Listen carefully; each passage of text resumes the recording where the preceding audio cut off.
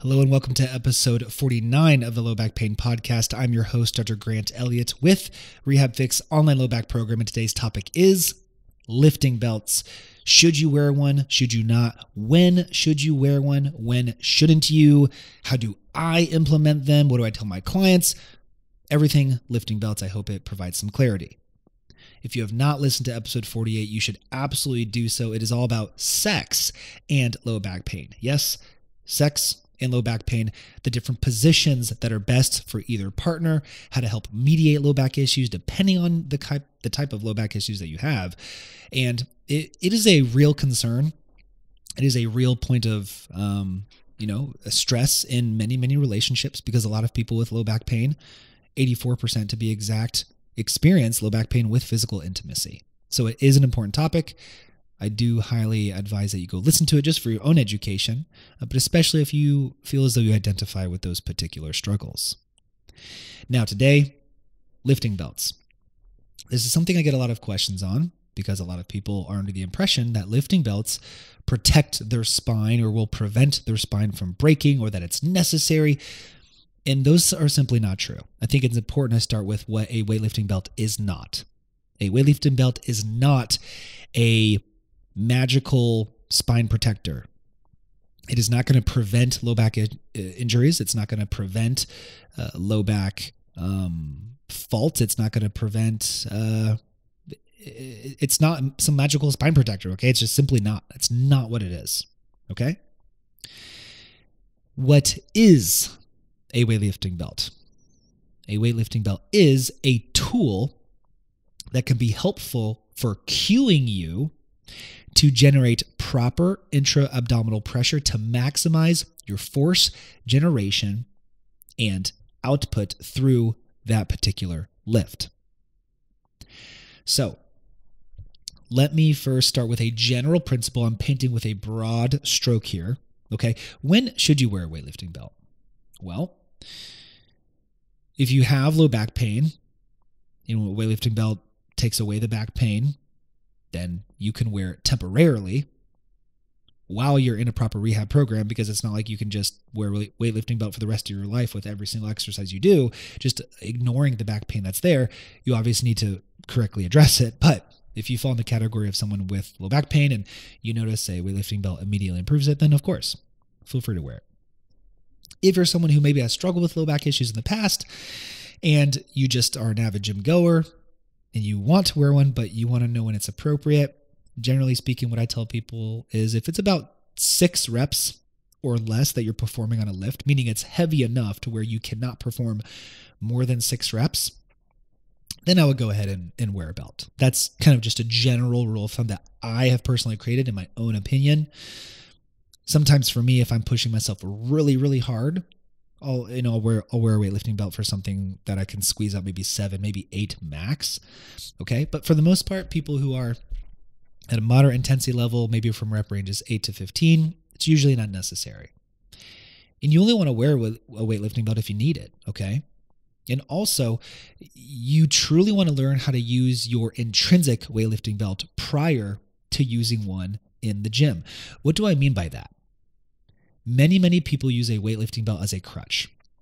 You have a weightlifting belt inside of you already. It involves your diaphragm, your core, and your pelvic floor. Learning how to use these properly through belly breathing, diaphragmatic breathing tactics, and training in proper bracing strategies, that is your own weightlifting belt that you can use to generate force, to generate pressure in the abdomen, so that you can stabilize your spine on your own. And if you are new to the gym, you're new to weightlifting, and you're immediately running uh, to a weightlifting belt, you might be preventing yourself from learning these essential principles to operate optimally as a human being. You might be cutting your learning short or maybe cutting it entirely of how to use these intrinsic bracing mechanisms that are so important, so important to moving the right ways, breathing the right ways, functioning the right ways in all different settings. So I think that you should learn these methods first before even considering a weightlifting belt because you don't want to use one unless you need to and unless the circumstances is right. So, I highly advise you uh, learn these strategies before just jumping to a belt. Now, if you choose to wear one, how should you do it? In my opinion, once again, this is just my opinion, I think you should be able to put two fingers between the belt and your belly. This is so that you can expand into the belt, so that you can generate pressure outwards into the belt, and then the belt is able to push back once you hit it you should not be cinching it on like a corset. You see a lot of people in the gym sucking their belly in as much as they can and then pulling that weightlifting belt as tight as they possibly can. This could be counterproductive. This could make your stability worse. And how is that? I'm going to give you two analogies right now. First, let's say you have an empty pop can. An empty pop can. You probably remember as a kid, you were able to stand on an empty pop can and it wouldn't break unless you moved or unless something happened, right? So I want you to imagine when your abdomen is full with air, properly stabilized, properly pressurized, that's like a full pop can. Uh, full meaning rotund, you know, round, uh, not filled with fluid necessarily, but full, full canister, okay? Now, we all know if there was a slight crinkle in that pop can, slight crinkle, and you stood on it, it would immediately collapse, right? If you are sucking in your belly while you're weightlifting, even without a belt, if you're sucking in your belly, a lot of people are stuck in the early 2000s. Activate your transverse abdominis, suck in your belly, draw your belly in. That's going to protect your core. No. The answer is no. The answer is no, no, no to that one. That's like standing on a crinkled pop can. You want to be a full pop can. We call it the buttress of support, the pressurized canister. That's how you want to be. Another example is a teeter totter. Okay. The center of the teeter totter, where that post is, that is balancing it so it can rock back and forth. Imagine if that part of that post was the skinniest, the skinniest and the smallest out of the entire teeter totter itself. Then you have two large weights on either end. That has the potential to snap, right? That's not a very strong teeter totter. Instead, what if the center of that teeter totter, the portion that was resting on the center post, was the thickest, the largest, the widest? That would make the most sense, right? That can support the most amount of weight. That's how I want you to think about your abdomen, about your core, your belly. If you are sucking in your belly and you're cinching it tight like a corset, you are removing your ability to properly pressurize your abdomen to properly use your diaphragm, your core, your pelvic floor. These things are not going to be functioning optimally, and it could potentially reduce your stability with whatever task or exercise you are partaking in. So I highly advise you consider these things when you are approaching the concept of using a weightlifting belt. Once again, there's nothing inherently wrong with it, but I encourage you to learn how to use your weightlifting belt intrinsically, the one that you were born with, first. Then, if you're becoming more skilled in the gym and you're approaching heavier lifts and you want to put that weightlifting belt on with room to fit two fingers between your abdomen and the belt to expand into it, then feel free to do so. I do that. There's no reason you can't, right?